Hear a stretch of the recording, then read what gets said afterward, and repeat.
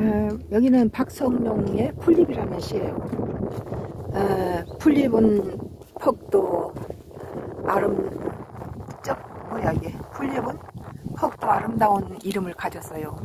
우리가 풀잎하고 불, 그를 불렀을 때는 우리들 입속에서는 푸른 휘바람 소리가 나거든요. 바람이 부는 날의 풀잎들은 왜 저리 몸을 흔들까요? 소나기 오는 날의 풀잎들은 왜 저리 또 몸을 통통거릴까요? 그러나 풀잎은 퍽도 아름다운 이름을 가졌어요. 우리가 풀잎, 풀잎하고 부르면 우리 몸과 마음도 어느덧 푸른 풀잎이 돼버리거든요.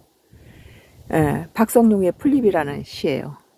시비가 아, 있어서 음, 여기 찾은 보람이 있네요. 또 있어요? 난간이 그, 그거 어.